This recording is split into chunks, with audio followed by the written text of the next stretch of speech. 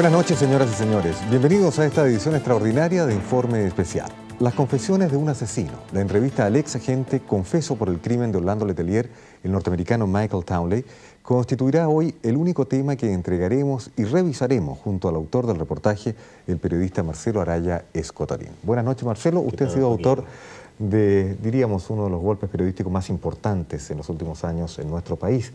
¿Fue muy difícil conseguir este testimonio? Bastante difícil. Imagínese, son 15 años de silencio de parte del principal inculpado en el caso Letelier, una década y media de silencio de quien fuera el autor, el testigo y el cómplice de otra serie de hechos que van a, obviamente, a establecer unas páginas oscuras dentro de lo que ha sido este episodio en la historia de Chile. Para nosotros, Michael Townley ha sido un hombre leyenda y mucha gente estaba interesada porque jamás entregara una versión directa de lo que ha ocurrido. No obstante, para nosotros había una obligación periodística una obligación que no se podía eludir. Y por eso lo intentamos. Y no solo lo intentaron, sino que lo lograron plenamente hasta conseguirlo, Marcelo. Y lo hicieron al más puro estilo de informe especial. Queremos aprovechar esta oportunidad para advertir al público y particularmente a los medios de comunicación, tanto nacionales como extranjeros, que esta es una entrevista exclusiva de Televisión Nacional y por lo tanto los derechos de difusión están absolutamente reservados. Ello significa que esta entrevista no puede ser reproducida ni parcial ni totalmente por cuanto está penado por la ley. Hacemos un alto y volvemos para entregarles este esperado documento periodístico.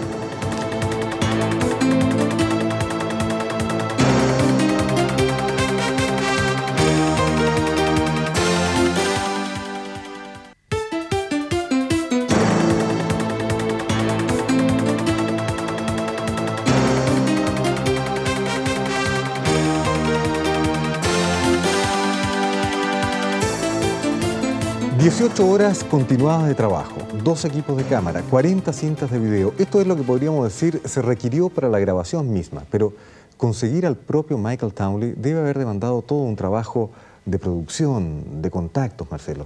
Y más que eso, Juan Guillermo, son dos años de intenso trabajo, como usted señala, porque la verdad es que todo esto se inició indicando, como usted dice, eh, en el año 91.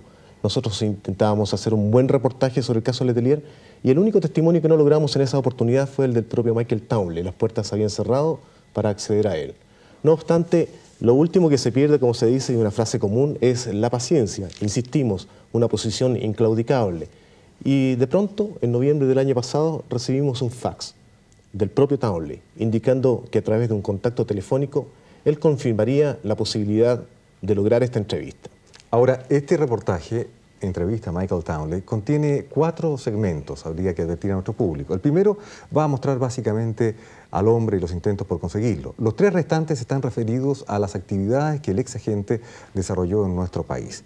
Conozcamos entonces a este mítico personaje que rompió para Informe Especial 15 años de pesado silencio a través de este primer contacto telefónico.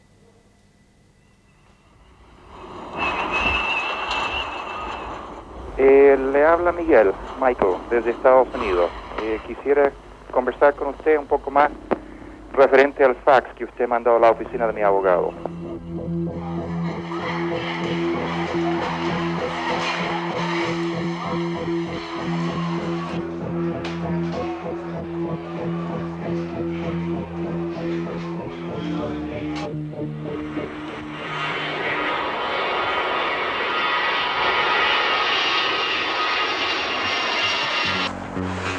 Michael Townley, el agente, el criminal, ha decidido romper su silencio e invita a Informe Especial a esperar un nuevo contacto en algún punto del estado de Florida, en el país del norte. Aún no se ha determinado en qué lugar ocurrirá.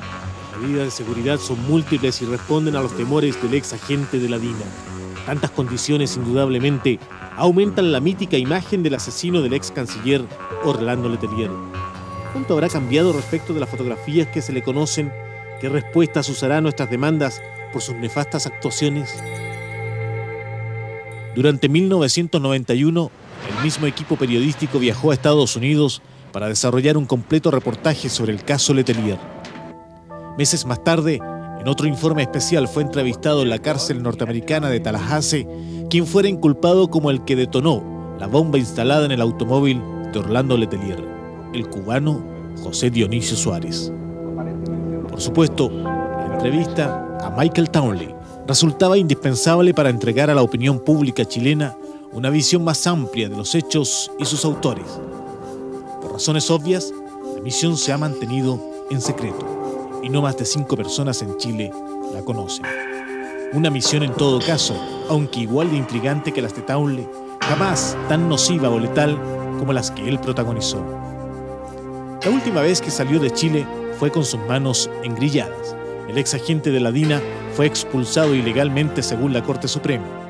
Dos agentes del FBI lo escoltaron tras recibirlo en el avión de Ecuatoriana, estacionado ese sábado 8 de abril de 1978 en la losa del aeropuerto Merino Benítez de Santiago. Tras varias negociaciones entre autoridades del gobierno militar chileno, representado por el entonces ministro del Interior general César Raúl Benavides, el subsecretario Enrique Montero Marx y el asesor jurídico Miguel Alex Schweitzer y la delegación de la justicia norteamericana, se decidió la entrega de Michael Townley. En prácticamente dos días de viaje y un tercero de espera, se resume la jornada que vivimos en Florida antes de conocer lugar, día y hora del ansiado encuentro. Y de esta manera, en algún día de febrero de 1993 y en algún lugar de la idílica Florida, en Estados Unidos, país natal de libertad y castigo, Informe Especial está concretando su primer contacto con el enigmático Michael Townley. La seguridad es la convicción de este ex agente secreto que nos exige navegar para entregarnos su verdad. Han pasado ya 14 años desde que el gobierno militar lo entregó a usted al FBI. Usted fue condenado por homicidio, o mejor dicho, por conspiración en un homicidio. Usted ha tenido que estar en la cárcel de su país. Con su nueva vida quizás usted pudo haber olvidado este pasado criminal. Sin embargo, en estos momentos nos está concediendo esta entrevista de cara a la opinión pública chilena. ¿Cuál es su motivación? Quizás redimir tantas culpas, sufrimientos que hubo en nuestro país a raíz de su existencia? Es una pregunta que no es una pregunta, es una pregunta múltiple. Lo que me motiva a estar aquí es lo mismo que le he dicho a usted eh, por carta, eh, por fax anteriormente, que con toda la pasada de estos años, eh, hay ciertos señores, entre ellos don Manuel Contreras, que se han equivalado a su honor propio, a su ego propio, a su vanidad propio, eh, con la del país, con la de la nación. Eh, personas que se han escudado detrás del honor de las instituciones a las cuales pertenecen o que han pertenecido. Eh, gente que se han escudado detrás del nombre de, de su propio país, que usan el nombre de las instituciones del país para esconder sus culpabilidades, sus responsabilidades, lo cual nunca han tenido suficiente hombría de pararse y decirse, sí, yo hice esto, el país no es responsable por mis hechos, soy yo quien lo hizo. Yo, durante los juicios aquí, y, digo, eh, siguiendo las órdenes recibidas de cooperar en la investigación eh, de la muerte de, Orlando Letelier, del asesinato de Orlando Letelier, eh, me declaré culpable, estuve en las cárceles estadounidenses, norteamericanas, eh, y en todo momento esperando que General Contreras, don Pedro Espinosa, asumieran sus responsabilidades y libraran al país, al patrimonio nacional del país, que no es, no es dinero, es la respetabilidad de la nación. Y decir, señores, fuimos nosotros. Y dejar al país seguir adelante ya es hora de que eh, respondo a, las preguntas, a, las inquietudes. Una pregunta que todo el mundo se hace porque usted ya se ha transformado en una especie de leyenda es ¿quién es Michael Townley? Usted ahora tiene una nueva identidad y ha vivido con identidades diferentes. Incluso antes Quien me enseñó a vivir con identidades distintas fueron la unidad popular como necesidad para poder volver a Chile en primer lugar y después en la DINA porque me lo exigía el trabajo. Pero el cambiar identidades muchas veces también representa el arrastrar con cambios valóricos, cambios culturales. Pero ¿por qué con el cambio de nombre tiene que cambiar los valores? Los valores no cambian. El nombre es un pedazo de papel. Pero uno revisa su historia y ve que hay un joven tranquilo de repente y otro día es un adulto ya dispuesto a matar.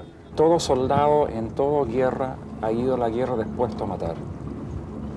En la época del año 73, 74, 75, el ánimo dentro de las Fuerzas Armadas, dentro de las personas que, activamente eh, tomaron posición, tanto la, gente de Allende, tanto la gente de izquierda como la gente de derecha o centro, quienes se oponían se veían como contrincantes.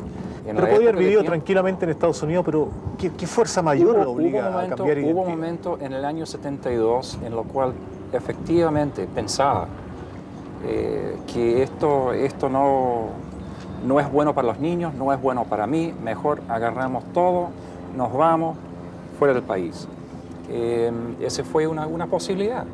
Y de haberlo hecho, no habría habido Dina, no habría habido un Michael Townley, como lo pone usted, leyenda. Eh, el, hecho de que usted o otro me consideren leyenda eh, me, me, hace cachar, es, un peso. Yo no me siento leyenda, me siento una persona que ha cometido maldades tremendos. Me siento una persona que... ¿Criminal? He hecho cosas criminales, pero dentro del contexto de ese tiempo era lo que había que hacerse.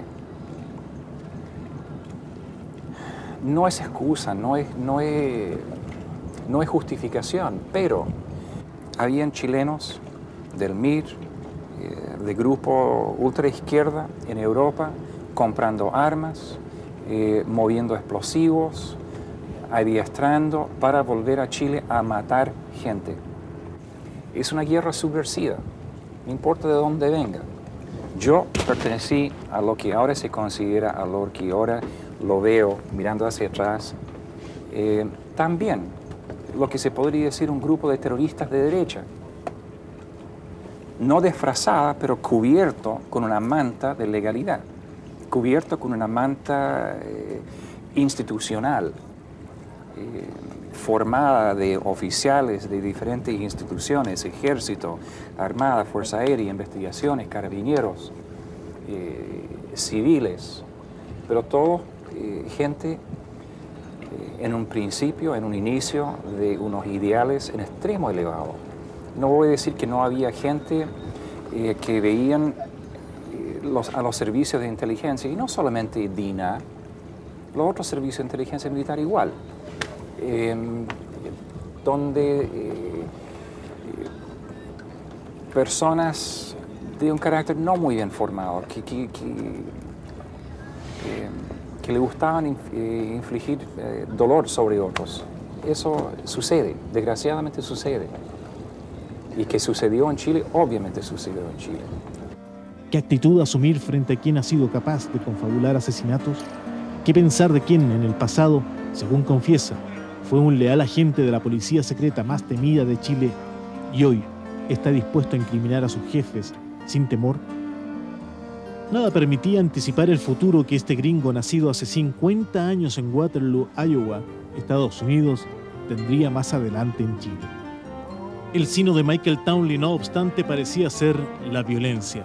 En 1957 su padre es destinado al país más lejano en Sudamérica para abrir una planta de automóviles Ford en Casablanca. Entonces Townley tenía 14 años de edad y era el mayor de tres hermanos. La familia se embarcó para arribar a Valparaíso el 7 de abril de 1957, cuando en Chile Carlos Ibáñez del Campo concluía tormentosamente su segundo periodo de gobierno. Lo primero que vi en Chile fue, fue violencia. cuando nosotros venimos como familia a Estados Unidos, venimos en barco, Santa, Santa María creo que fue el barco, y durante todo el viaje, mi mamá eh, nos leía la historia de Chile, eh, un país de, república, república democrática, de los, mayores, de los mejores eh, historias de Sudamérica llegamos, abro la puerta como a las 7 de la mañana, lo primero escucho es tiroteo. La cosa se agrandó y al terminar, al terminar ese episodio, creo que según lo que se decía en esa época, 200, 300, 400 personas murieron. Pese a que sus padres y hermanos abandonaron el país, Michael Townley se radicó en Santiago porque había contraído un compromiso sentimental luego de abandonar sus estudios. Un amor apasionado fue el que se apoderó de Michael Townley y Mariana Callejas y el que los llevó a casarse el 22 de julio de 1961. Mariana Inés Callejas Honores, la última de cinco hermanos, nació 10 años antes que su nuevo amor norteamericano en Rapel, en la cuarta región. ¿Quién fue Mariana Callejas para usted en ese minuto? Una mujer fascinante. Una mujer que había vivido en Israel, que había vivido en Estados Unidos, eh, que tenía una mente amplia, abierta, eh, muy leída. Eh, un factor cultural en la sociedad chilena es que no estamos acostumbrados a, que el hombre se case con una mujer mayor. Para problema, usted... problema de ustedes, diría yo. Los chilenos están acostumbrados ellos a mandar en la casa. ¿Qué pasaba en el nivel de decisiones, por ejemplo? Yo creo en la vida nuestra entre Mariana y yo, en casi todo lo que era decisión diaria, en decisión de lo que se hacía, yo llevaba los pantalones y no había diferencia en ese sentido. en lo que eran decisiones grandes, que vamos a ir a Estados Unidos y vamos a estar allá un par de años, pero vamos a volver a Chile, no era cuestión de decisión. La Mariana iba a volver a Chile, punto, se acabó. La vida de los Townley Callejas en Florida fue de relativa normalidad, aunque no fácil. A los tres hijos de Mariana se sumaron dos aportes de la propia pareja. Conservarse estable con una familia de cinco hijos en Estados Unidos es muy apreciado. Nunca lo recriminaron, ¿eh? Una cosa es, ¿de qué sirve recriminar? De que han estado... Eh, eh, me aceptan a mí. Pueden estar totalmente en desacuerdo eh, con cosas que he hecho, cosas en lo, en lo cual he estado involucrado. Pero eso no deja, no quita del hecho de que de mis padres soy su hijo, Ah, de mis hijos, soy su padre. Ah, y, el, querer no tiene nada que ver con el estar de acuerdo o desacuerdo con los hechos. ¿Usted piensa que para ellos usted no fue un criminal que ellos eh, no vieron en este hombre? que preguntárselo a ellos. Que rompía los valores que, se le habían entregado. Si ellos piensan que soy un criminal o no, eso no está en mí responderle eso. Llegó 1970 y en Chile las elecciones presidenciales favorecían al candidato marxista Salvador Allende. Ella volvió con los niños eh, poco después de la elección y me dejó ahí de, las elecciones de donde salió elegido el señor Allende. Y quedamos en que yo me quedaría atrás para vender la casa, para mover las cosas, cambiarlo y hacer lo necesario para poder volver. Usted dice que era un hombre tranquilo, ajeno a la política. Sin embargo, fue y se ofreció a la CIA. ¿Por qué? ¿Qué pretendió? ¿Cuál era el propósito de todo esto? Vamos a suponer por un momento que usted es de una formación democrática, eh, que a usted le han dado en la cabeza toda su vida juvenil eh, del cuco de los comunistas, el los cucos del marxista, la bomba hidrógena y todo lo demás. Y de repente a usted le dice, mira, eh, usted va a ir a un país donde se acaban de elegir un gobierno marxista, comunista, eso de los cucos grandes. ¿Y yo me ofrezco para espiar en ese país? No, yo no me ofrecí para espiar. ¿Cuál era la oferta? En el año 1970, cuando sabía que volvía a Chile, abrí la guía telefónica, busqué bajo CIA. Bah, hay un, teléfono aquí. Levanté el teléfono, marqué y le dije al señor que yo volvía a Chile, que mi señora y mis niños iban a Chile. Y como había un gobierno marxista entrando en Chile en ese momento, me ofrecí como persona que si necesitaban dejar documentos, dejar información, que si alguien necesitaba un lugar donde ir o donde estar, yo iba a estarme en Chile. ¿Usted sabe dónde va a encontrarse? Mire, en este momento no sé, pero yo, como todo ciudadano requerido, me inscribo en la embajada, en el consulado. Si me necesitan ubicar, ubíquenme ahí.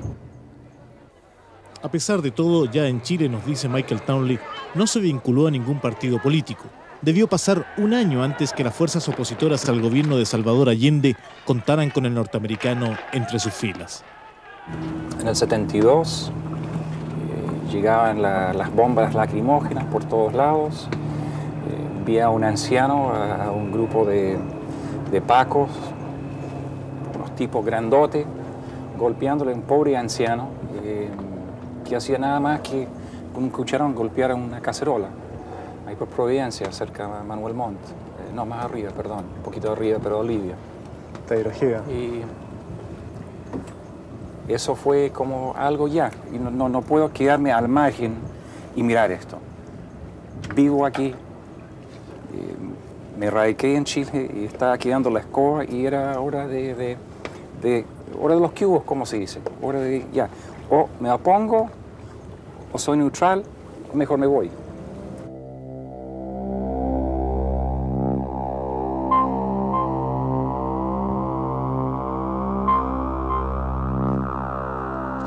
Hemos eh, conocido el primer segmento de esta entrevista exclusiva a Michael Townley que ha realizado el periodista Marcelo Araya.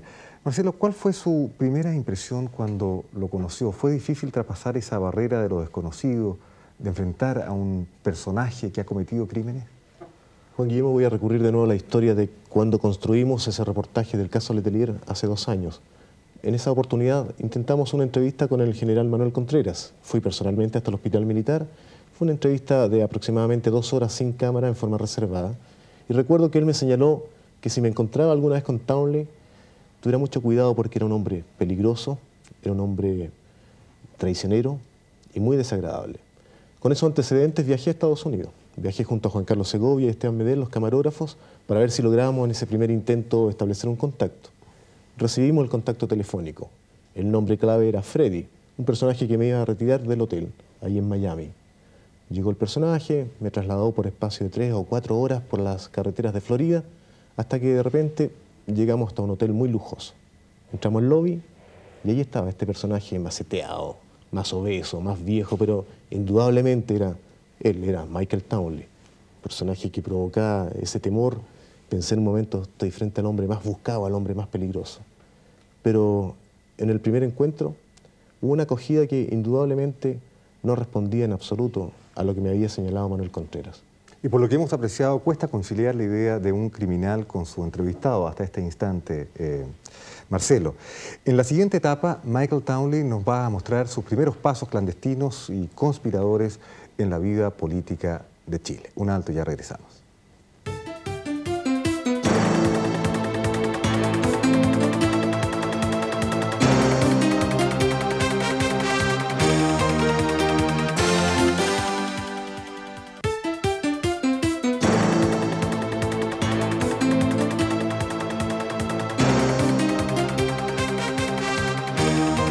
Michael Townley, las confesiones de un asesino en esta edición extraordinaria de Informe Especial.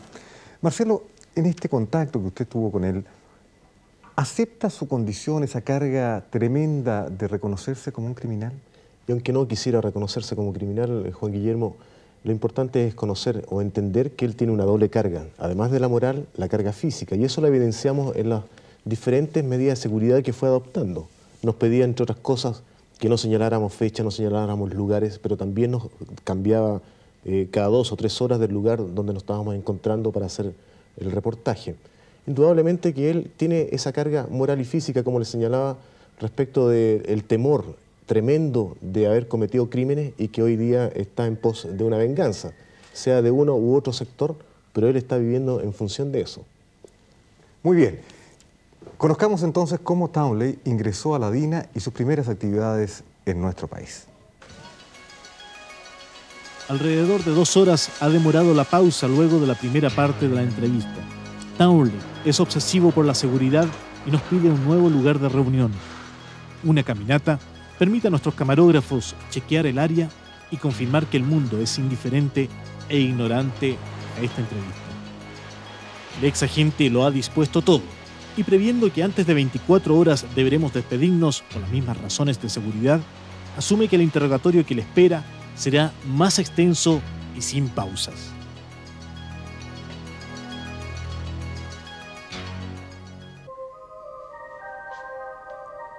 Michael Townley está preocupado.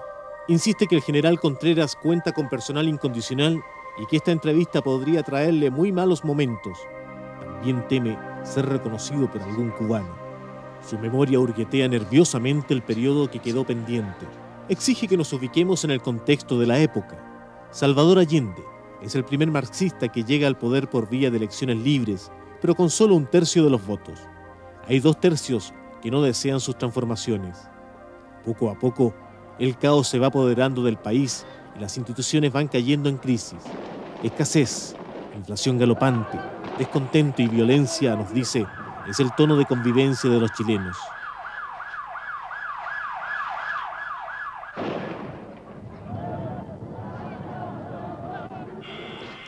El retorno de Mariana Callejas había ocurrido justo un día antes del asesinato del comandante en jefe del ejército de Chile, René Schneider, ejecutado por un comando ultraderechista ese 22 de octubre de 1970.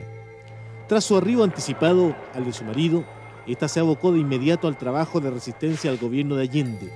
Había contactado con jóvenes del movimiento derechista Patria y Libertad dirigido por el abogado Pablo Rodríguez. Él, por su parte, retorna a Chile el 8 de enero de 1971. Mariana se incorporó al Patria y Libertad y yo seguía en Patria y Libertad. Eh, nazi no soy, ni nunca he sido, ni nunca seré. Sin embargo, trabajó con ellos. Trabajé con ellos, trabajé con gente de la democracia cristiana, trabajé con gente del Partido Conservador, trabajé con el Partido Nacional, con todos. Entre las misiones más recordadas de la pareja Townley Callejas durante la Unidad Popular se señala la puesta en el aire de Radio Liberación. Esta consistía en un radiotransmisor instalado en un Austin Mini de propiedad de Michael Townley. Ambos salían a recorrer las calles del barrio alto y cada cinco minutos emitían proclamas anti-allendistas, interfiriendo las frecuencias de las radios convencionales. La radio me fue entregado y honradamente no me creo, no, no, me acuerdo quién. no, no me acuerdo. Eso vino, no creo que vino de gente Patria y Libertad. Alguien que tenía, eh, inclusive la radio no funcionaba. La presentación formal de la emisora estaba a cargo de Mariana Callejas. Empezamos a las 8 de la noche, de nuevo a las 8 y media, de nuevo a las 9, de nuevo a las 9 y media. Cinco minutos. Cinco minutos de transmisión. Me acuerdo una vez inclusive eh, estábamos con hambre y paramos en el pollo stop y la programación estaba grabada, estaba en cinta. Y era nada más apretar un botón y se transmitía. Y mientras que comía el pollo, entre... transmitimos de ahí mismo. Los espacios incluían comentarios extractados de los discursos de connotados políticos como el del extinto mandatario Eduardo Frei Montalva o el de los trabajos de periodistas destacados como Hermógenes Pérez de Arce. Yo no tenía acceso a la, información que el señor Pérez de Arce o otros periodistas habrían tenido. Le dije, usted tiene algo, escribe algo que usted quiere que salga en la radio. No es ninguna cosa especial, no es ninguna cosa fuera del mundo. Cualquier radioaficionado pudiera haber hecho exactamente lo mismo. Mucha gente podría decir solo a ellos se le ocurría, una locura en el fondo. ¿Pero por qué locura? Usted es un periodista en el día de hoy. Si a usted le dicen, mira, todo lo que usted diga en el futuro, por el próximo mes, va a ser censurado, usted va a decir, va a hablar, va a opinar solamente lo que nosotros le permitimos. ¿Usted aceptaría eso? ¿Cuáles eran los límites morales que tenía usted en su lucha anticomunista, su lucha contra el gobierno de la Unidad Popular? Dentro de las cosas sensacionales que, pensábamos hacer, había un tremendo lechero de la Unidad Popular en el cumbre del, Cerro San Cristóbal, que se veía en todo Santiago.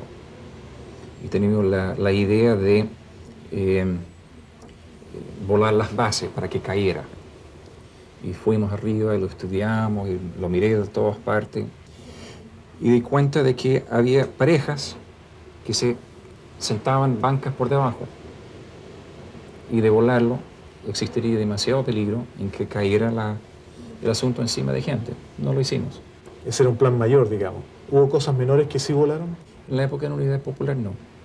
Pero no hice, cosas con, no, no hice cosas con explosivos. ¿Entrenó usted a los jóvenes del Patria y Libertad? ¿Entrenar? ¿Enseñarle eh, técnicas? ¿Uso de armas? No, uso de armas no, yo no tenía armas. ¿Molotov? Molotov, sí. Molotov fabriqué. Nosotros fabricamos los Molotov, los teníamos en caja y gente venía a buscarlos. ¿No cree que era un acto inmoral ese? Era un acto al nivel de las actividades de miles y miles y miles de personas en Chile. ¿Usted no se acuerda de los buses encendidos por izquierda y derecha? Para comienzos de 1973, la crisis política, social y económica en el país se hace intolerable.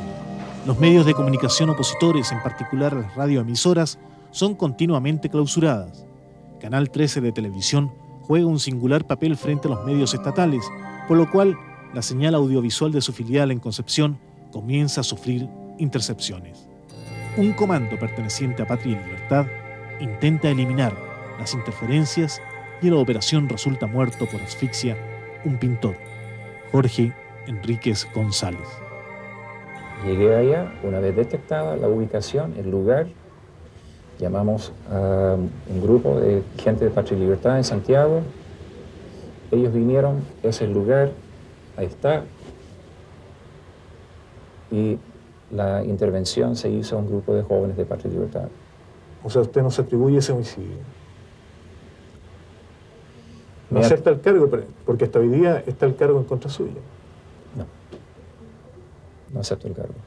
Usted no intervino de ninguna forma en eso. Yo pasé la información de dónde provenía la intervención eh, electrónica, lo pasé tanto a, la- a personeros de la Universidad Católica como a la- al, al grupo, el comando, si quiere llamarlo así, de Patria y Libertad. Toda la familia Townley Callejas se reunió una vez más en Miami, donde intentaría rehacer su vida. Sin embargo, antes que se cumplieran seis meses, ocurrió en Chile lo que tanto ansiaban desde su perspectiva política, el golpe militar. Salimos a comprar una botella de champaña. Eh, teníamos algunos amigos chilenos en Miami y a festejar en la calle. Salió la mitad de Miami, la- lo que era la Miami Latina en ese, en ese momento. Salieron gente de la calle, había, todo el mundo tocaba la bocina. Eh, felicidad. El país vivía bajo un clima de gran tensión tras el golpe militar. Los estados de excepción y los bandos constituían la ley. La Junta de Gobierno, conformada por el general Augusto Pinochet, el almirante José Toribio Merino, el general Gustavo Lee y el general director César Mendoza por Carabineros de Chile, representaban la autoridad de facto. Para entonces, la familia Townley Callejas había regresado a Chile, siendo Mariana la primera en hacerlo. De acuerdo a los registros de Policía Internacional, Michael Townley nunca ha ingresado a Chile, por lo menos en esas fechas que él indica. Ya se hacía un hábito en él, usó otra identidad. Townley era ahora Kenneth Angel. Y él existe. Sí, Kenneth Angel. sí, persona real. Muy buena persona. y ha salido perjudicado, me imagino, suficiente con un acto de amistad. ¿Él sabe en qué ha sido involucrado su nombre? Ya, Si no me equivoco, eh, me consta de que el FBI lo interrogó y cualquier cantidad de cosas. Es un- persona muy simpático, buena persona, de quien yo le aproveché, me, aproveché de él para poder volver a Chile. El 12 de noviembre de 1973, de acuerdo a la propia declaración del general en retiro Manuel Contreras Sepúlveda, este asumió la dirección de la DINA, pese a que la fecha él era solo coronel, sin ser director titular. La organización de carácter secreta centralizó en ella las operaciones de inteligencia en Chile por sobre la de las instituciones armadas, pese a que éstas eran dirigidas por oficiales que ostentaban grados superiores a los de Contreras Sepúlveda.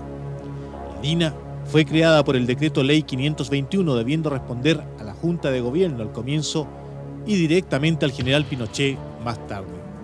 A comienzos de 1974 la DINA estructuraba sus cuadros. Según Townley, sin saberlo, él era ya conocido para uno de los oficiales de la DINA. El comandante Pedro Espinosa Bravo, oficial de inteligencia durante la Unidad Popular, trató inútilmente de detectar las instalaciones de Radio Liberación. Al saber que Townley era el personaje que buscaba y que había retornado a Chile, se interesó en él y lo contactó directamente en su casa. Y así es como conocí en ese entonces comandante Espinosa. Y después formamos amistad, conversamos, hablamos, fíjese, del punto de vista de él durante la unidad popular, del punto de vista nuestro de la unidad popular, para tomar un par de, de, pico sour y eh, nosotros comimos en la casa de él una o dos veces, él con su señora comió en la casa nuestra una, dos o tres veces y empezamos formando una, una amistad. A comandante Espinosa, a él le conocí totalmente ajena, nada que ver con Dina, nada que ver eh, sino una relación social que se empezaba a desarrollar ahí por abril-mayo del año 74. ¿Por qué te ha buscado estas tres fechas diferentes? O sea, hablado de noviembre, agosto. Cuando yo entro a una relación más formal en la DINA, es noviembre. Vengo a Estados Unidos a principios de diciembre a hacer compra electrónica de elemento electrónico de contra, de contra uh, inteligencia electrónica. Equipo para detectar a, micrófonos ocultos, a radiotransmisores ocultos en una habitación. ¿Dina para usted era una mejoría económica en alguna medida? Eh, los sueldos que pagaba Dina nunca fue un sueldo eh, de lujo, nada por el estilo. Eh, inclusive, digamos, por eso se incorporaron a, la, a, mi señora, a la Mariana. ¿Ella fue incorporada también a la Dina? Claro, para que hubiera un ingreso suficiente para, para mantenernos, lo mínimo. El general Manuel Contreras dice que usted era un simple informante que debía someterse a un agente. Un informante se supone es una persona que recolecta información eh, del trabajo actual en donde está, recolecta y surrepticiamente lo pasa al servicio. La DINA tenía una estructura determinada y de acuerdo a eso el general Contreras afirma que usted no era agente de la DINA porque no poseía la credencial que lo acreditara. Ese es falso, sí lo tenía. Mi señora tenía, yo tenía, la tarjeta mía fue robada de mi casa dos días antes de ser ilegalmente eh, expulsado de Chile. Ah, la tarjeta de mi señora lo tiene el FBI, fue introducido como evidencia en el caso Letelier, eh, fue proporcionado al, al Corte Suprema durante la extradición, la petición de extradición de General Contreras ahí por el año 79-80. Eh, también lo tiene facilitado la Corte en Chile ahora. Eh, hay salvoconductos eh, que están entrados en evidencia en el caso del Micho Bañados. es falso. ¿Cómo fue usted asimilado dentro de la DINA? ¿Quién fue el mando que se le puso sobre usted? Desde un principio, en las primeras instancias, mi mando inmediato fue comandante y después coronel Espinosa coronel Espinosa eh, eh, me pasó o me asignó, si quiere decirlo así, a entonces mayor Iturriaga, Eduardo Iturriaga Neumann.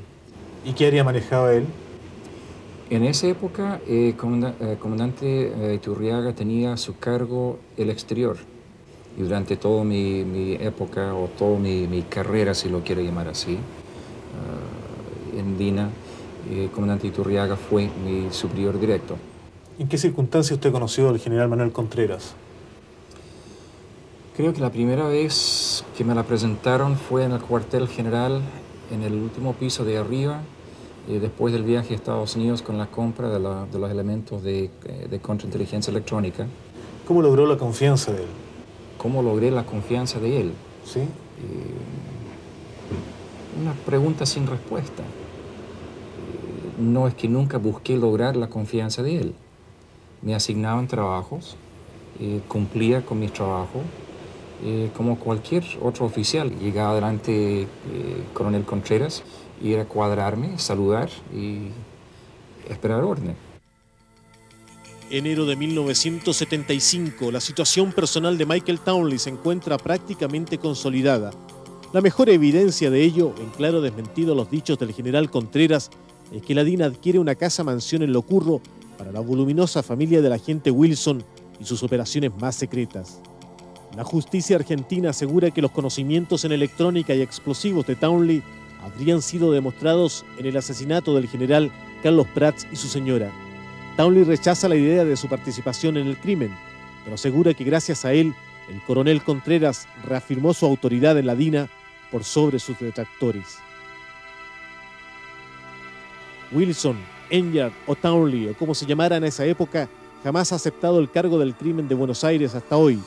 Aún así, su vida cambió desde la instalación de la familia en la casona de Locurro. Ese privilegio, digamos, que no se le otorga a ningún otro oficial, eh, tiene que haber habido una gran confianza. Es que usted está tomándolo como si este, él me compró una casa. La idea fue de tener una agrupación, una entidad, una brigada de la confianza de Coronel Contreras, eh, bajo el mando, si no directo, muy cercana directamente a su control, a través de Coronel Espinosa, a través de Mayor Iturriaga, comandante Iturriaga ya, en lo cual no intervenía más de la jerarquía normal interna de la DINA, o sea, una entidad secreta bajo el control y para el uso del señor director. ¿Qué es lo que es PROSIM? PROSIM fue una sociedad que creé eh, aquí en Estados Unidos primero y íbamos a incorporar igualmente en Chile como una fachada. Bajo ese nombre se compró la casa Locurro. Exactamente. ¿Y Se firmaron- comprar por una sociedad, por una sociedad jurídica, una sociedad formada. Los firmantes son los señores Castro, Castañeda y Schmidt-Menz. ¿Quiénes, ¿Quiénes son esos personajes? Diego Castro Castañeda fue el nombre de chapa de trabajo en el servicio DINA. ¿De quién? Eh, don Eduardo Iturriaga Neumann funcionaba con ese nombre y también era conocido como Don Alías. ¿Y el señor Schmidt-Menz? Se fue Rolando Acuña, eh, fue abogado, eh, eh, personero jurídico para el servicio DINA. ¿Qué otros recursos se le asignaron en esa oportunidad? ¿Vehículos? ¿Personal? Ah, en un principio había un clase, un sargento de carabineros. Yo lo conocía del nombre de Robinson, era un hombre de toda confianza de Coronel Espinosa. Héctor era cabo de Infantería Marina. Ah, Esteban era sargento en el ejército. Y Alejandra también empleada del Ministerio de Defensa Nacional. Todo personal regular, no en retiro, digamos. No, toda persona en servicio activo dentro de su, de su rama. La situación de la Casa de Villa Naranja en Locurro se encuentra absolutamente esclarecida por el ministro Adolfo Bañados. A través del interrogatorio del propietario anterior, Miguel Vidaurre, le fue posible establecer que esta fue adquirida, según la escritura, el 6 de junio de 1975 por Diego Castro Castañeda y Rodolfo Schmidt-Menz. De igual forma, el ministro sumariante incautó decenas de cheques firmados por el general Manuel Contreras para las operaciones de DINA. Con uno de ellos se pagó la casa ocupada desde comienzos del 75 por Townley y su familia. En la medida que transcurre la entrevista, van surgiendo nuevas situaciones sobre las cuales nuestro interlocutor se resiste a detallar. Uno de esos episodios lo vivió junto a la propia Mariana Callejas, su esposa. Se trataba de la misión México. Exacto, ahí por febrero del año 75. ¿Quién le encarga ese viaje? Ese fue directamente encargado en la oficina del director del servicio, de, de DINA. O sea, el general Contreras le pide a usted que Coronel viaje. Contreras en ese momento me ordena, me pasa el dinero para el viaje. ¿Cuál Eh, era la misión? La misión era intervenir en una reunión eh, de partidos socialistas en Ciudad de México y específicamente eh, buscar eh, la muerte o el asesinato de Carlos Altamirano. Eliminar personas. ¿Estaba usted dispuesto a aceptar esto? Lo acepté. Lo aceptó. ¿Por qué? Me había subordinado, subordinado al mando de la institución a lo cual me entregué a trabajar. Yo no podía saber de todo, no era mi posición tomar decisión o tomar eh, eh, una, una posición sobre cada eh, orden que recibía, eh, sino cumplir en lo posible las misiones encomendadas. ¿Y tan simple fue esta decisión, asumir en transformarse en criminal? La definición de criminal lo acepto, que confesé a un crimen. Eh, yo no me consideraba como criminal. ¿Dentro de qué contexto valórico lo aceptaba esto? que en ese momento se estaba en una guerra y yo era parte de una fuerza armada que estaba peleando una guerra antisubversiva. Primero en Miami y luego en New Jersey, el matrimonio intenta establecer una relación con un grupo cubano. Se trataba precisamente del Movimiento Nacionalista Cubano, MNC, una organización naciente pero de carácter terrorista hasta entonces poco conocida. Dos de sus miembros líderes, Guillermo Novo Sampol y José Dionisio Suárez, ambos entrevistados por informe especial en años anteriores, habían estado ya en Chile. Usted llegó a Miami y contactó con una persona. ¿Quién le entregó ese contacto? ¿Quién le informó a usted que don existía Pedro esa Espinosa. persona? De don Pedro Espinosa eh, me mandó a contactar con eh, un señor eh, croata. Y el señor croata eh, me sugirió hablar con el señor Felipe Riveros, que era el jefe ideológico del movimiento nacionalista cubano. Desde un principio nos dijo, yo no soy persona de de la parte operativa, usted tendría que hablar, hablar con Guillermo Novo, yo le llamo, le solicito si está dispuesto a recibirlos, y si está dispuesto a recibirlos, ustedes tendrían que ir a New Jersey, cosa que hicimos. Entiendo que no le creyeron en un principio. Los cubanos, ¿sí? no, por supuesto que no. ¿Qué pasó? Eh, nos citaron para una reunión el día siguiente en el motel donde estaba alojado. Eh, apareció Guillermo Novo con, ah, eh, con Suárez y Dionisio Suárez y con otro muchacho, creo que se llamaba Armando Santana, si no me equivoco. Y entraron a la habitación, estaba armado. Dionisio Suárez eh, se sentó en un sofá y eh, mi señora estaba conmigo y nos mantuvo los dos eh, a punto del cañón de un Colt 45 durante casi cuatro horas. Y eh, yo tenía un contacto en la, misión militar en Washington y al final llamamos a ese señor. ellos tenían el teléfono de de de de la embajada en Washington. Ellos llamaron, pidieron hablar con la persona cuyo nombre yo les había dado. Eh, hablaron con él y hasta eh, felizmente quedaron satisfechos con confirmar que efectivamente eh, éramos de Chile, éramos de Dina, éramos conocidos en Chile y no éramos de la CIA. Pero a pesar de las dificultades, los cubanos finalmente aceptaron, porque la DINA les ofrecía algo con lo que ellos jamás podrían contar. Así como después ocurriría también con los italianos, el apoyo amplio de todo un Estado. El mismo día de la reunión, en la cual no tenía encañonado ahí con un 45, en la tarde eh, hubo otro ah, miembro del grupo, lo cual, quien nunca le conocí, ah, quien me pasó una bolsa de papel y dentro de la bolsa de papel había cordón detonador, ah, había detonante, había C4, explosivo C4 y había detonadores. De esta forma, Michael Townley, Mariana Callejas y el cubano Virgilio Paz viajan juntos a México con la siniestra misión de eliminar exiliados chilenos, encabezando la lista Carlos Altamirano. Sin embargo, llegan tarde. Ninguno de los dirigentes se encuentra.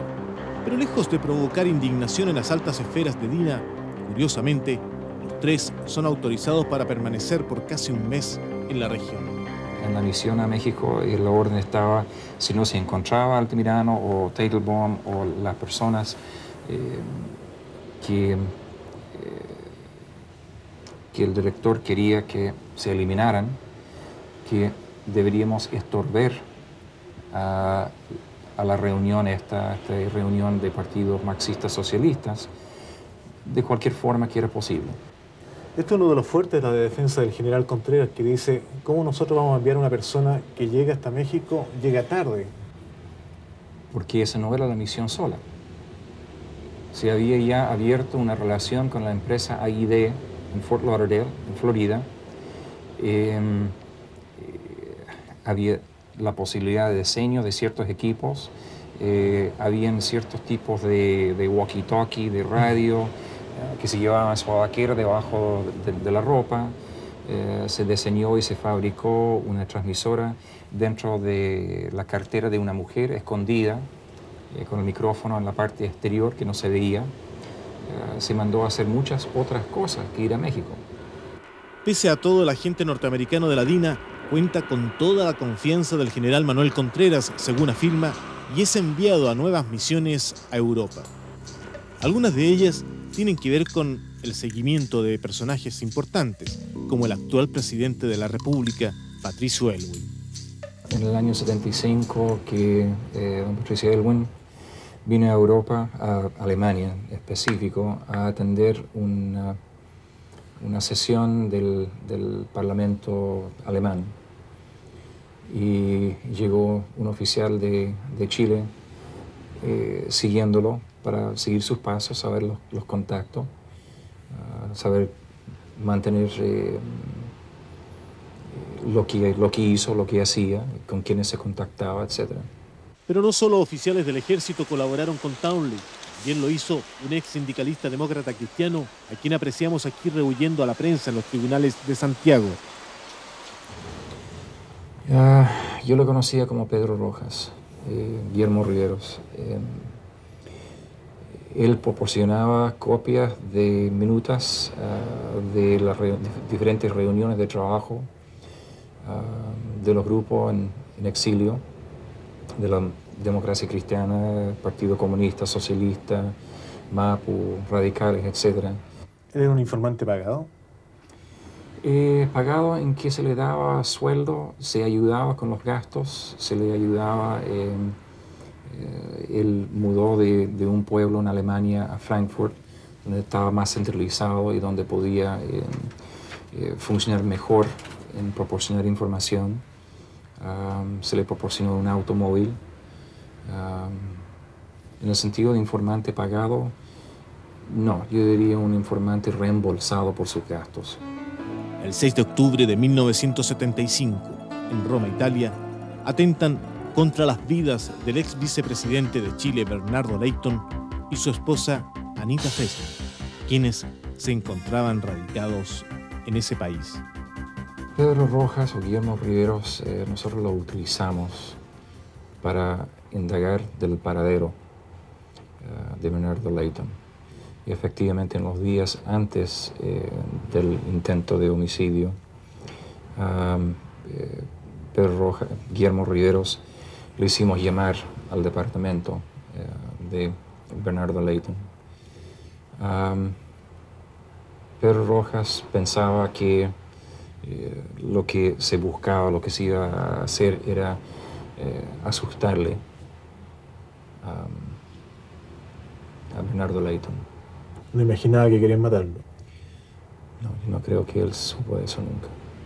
¿De qué manera usted tuvo participación en esto?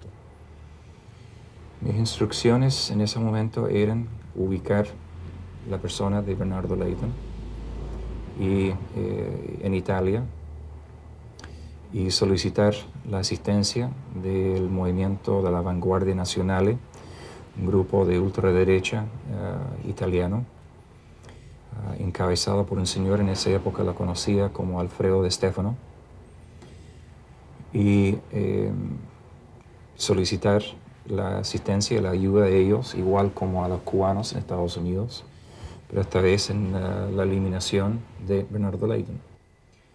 ¿Quién le dio esa instrucción a usted? Eso fue Eduardo Iturriaga Neumann. ¿En qué medida era un enemigo para el gobierno militar eh, Bernardo Leighton?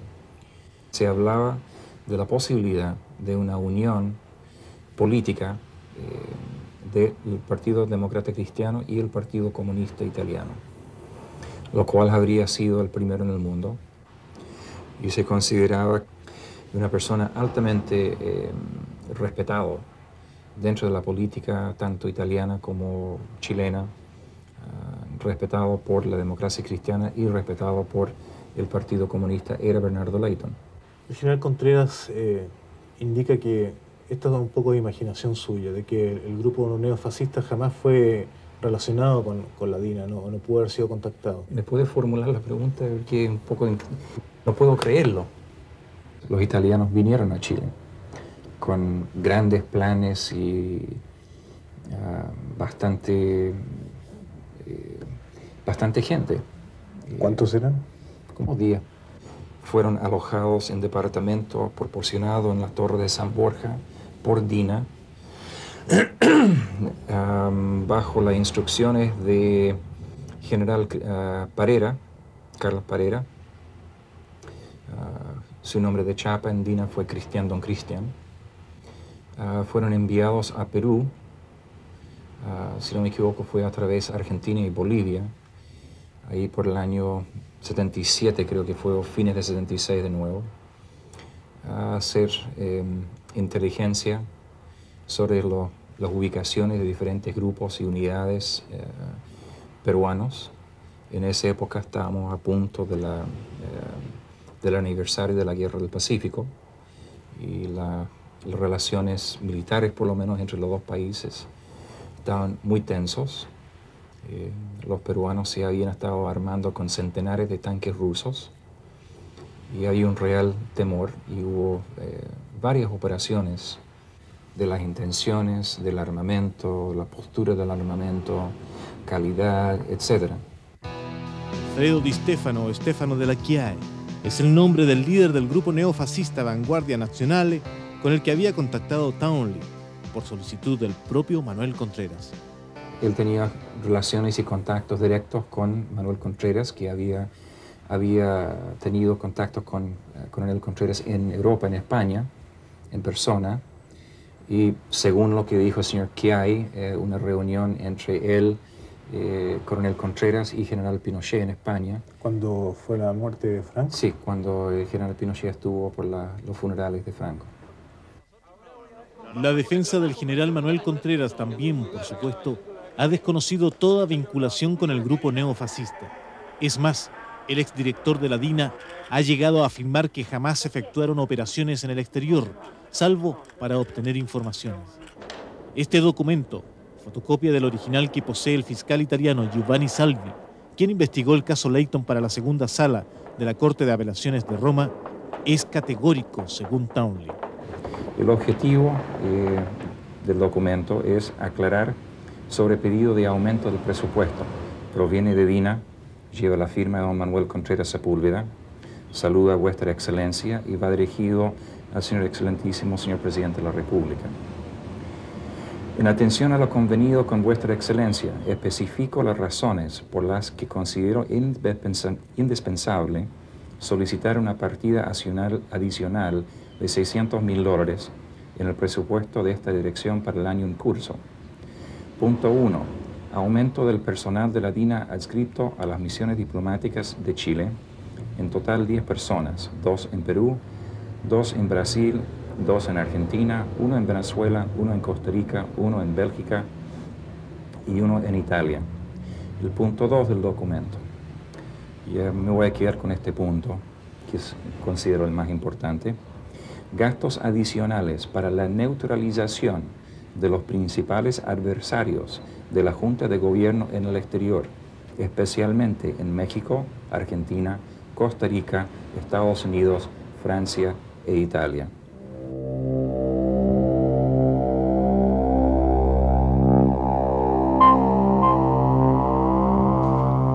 La descripción de actividades eh, desarrolladas tanto en Chile como en el exterior en este segundo segmento de la entrevista exclusiva a Michael Townley. Este documento que acabamos de presenciar en el final de este segmento, Marcelo, parece evidenciar algunas acciones externas.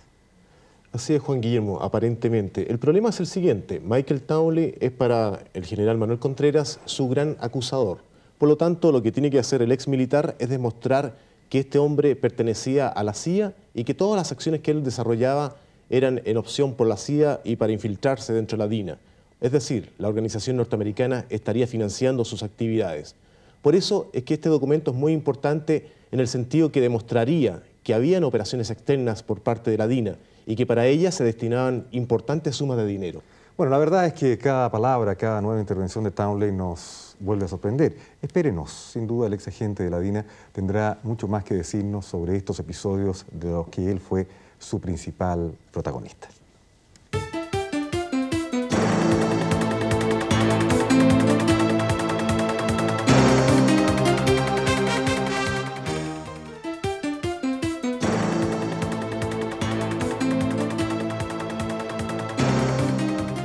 Para nadie es desconocido que Michael Townley fue sometido a procesos en Estados Unidos por la responsabilidad que le cabía en el asesinato del ex canciller chileno Orlando Letelier y de quien lo acompañaba, Ronnie Moffitt.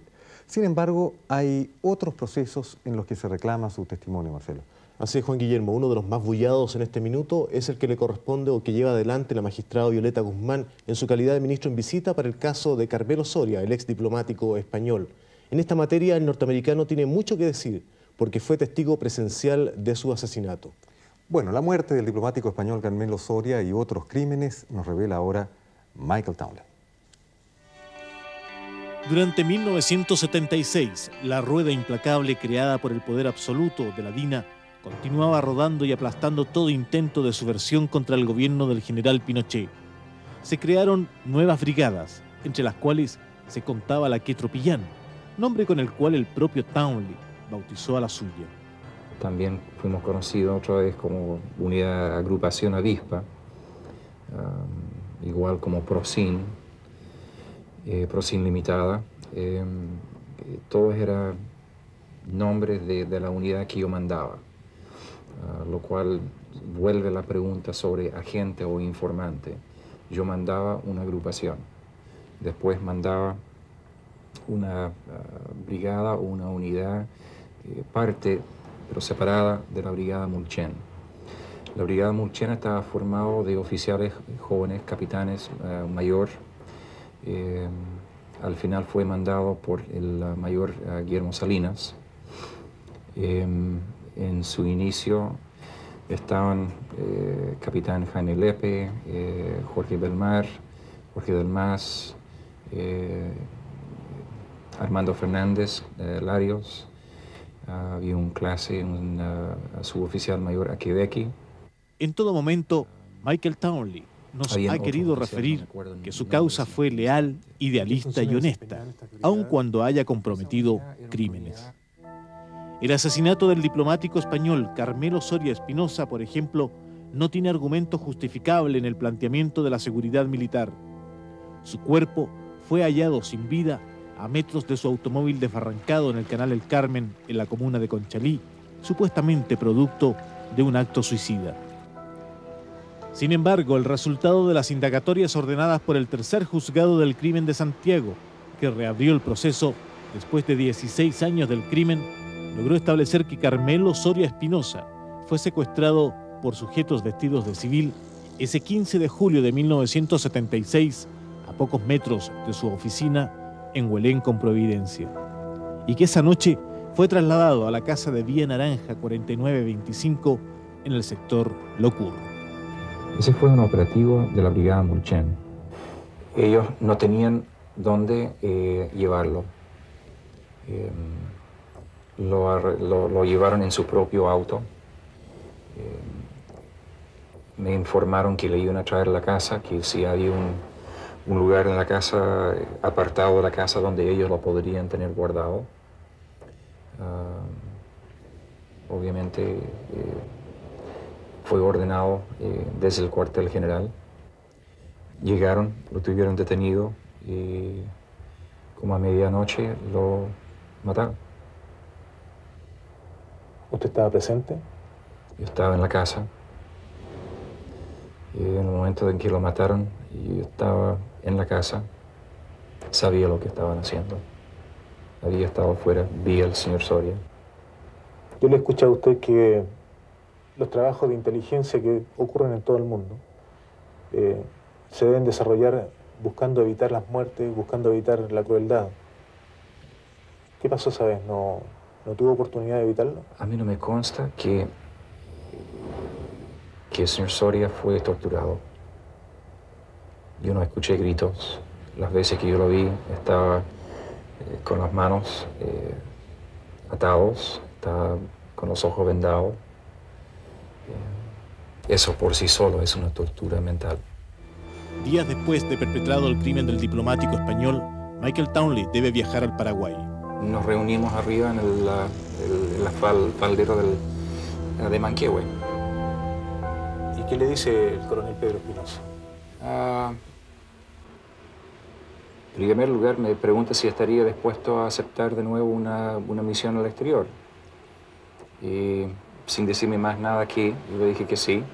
Estaba eh, eh, Teniente Fernández con él a a- en el mismo momento.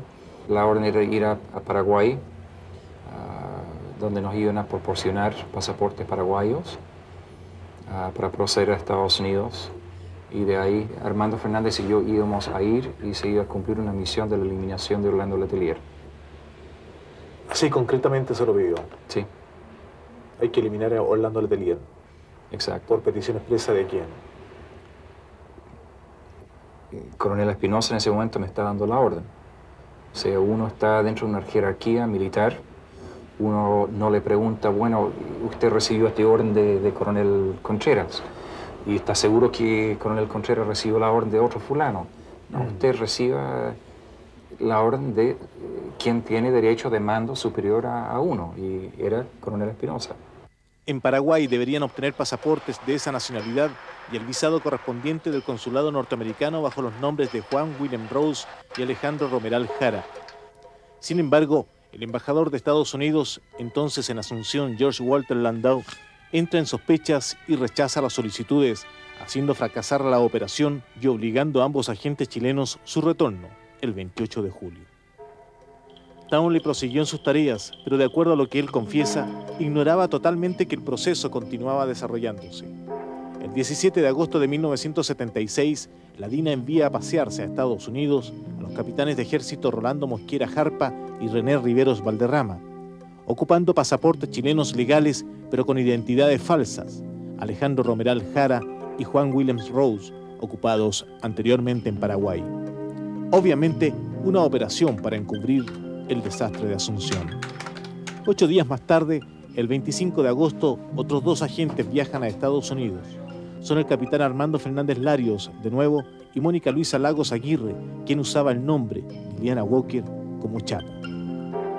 Ya por fines de agosto, primera semana de septiembre, a mí me llaman a Coronel Espinosa y de nuevo nos reunimos arriba en, en los falderos de, Manquehue y me dice de que eh, eh, creo que ya había ascendido a capitán, o estaba justo en el momento de ascender a capitán a, Fernández Larios, Armando, que él ya se encontraba en Estados Unidos y que había estado haciendo trabajos de, eh, de ubicar la casa, el, lugar de trabajo y individualizar la ruta, los automóviles, o sea, hacer un trabajo de inteligencia preoperativo que él tenía que volver eh, por problemas de salud de un familiar y que necesitaba que yo me preparara para un viaje inmediato a Estados Unidos a recibir la información y de ahí proceder a solicitar eh, una vez más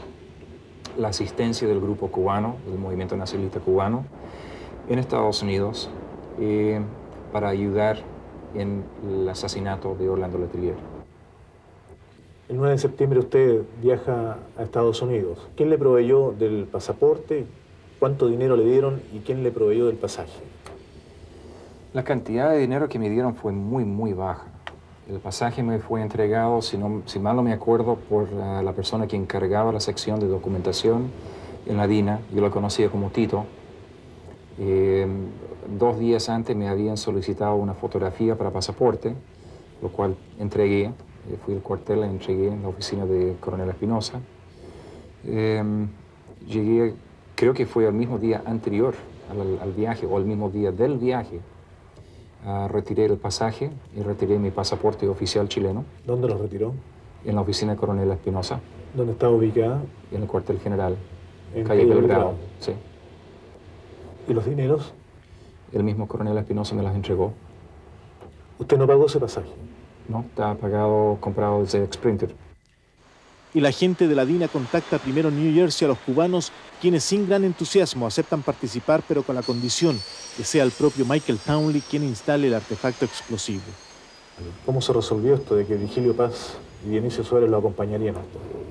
Ellos optaron al final eh, por ese día. Eh, había pasado el tiempo, pasado el tiempo. la, la, la orden inicial que se había dado antes de ir a Paraguay era que en, todo lo posible la muerte de Orlando Letelier aparecería como un evento callejero, un atropellamiento, un asalto callejero, una cosa así, pero una cosa que en lo, en lo posible eh, pasara como un acto criminal o accidente y no un asesinato.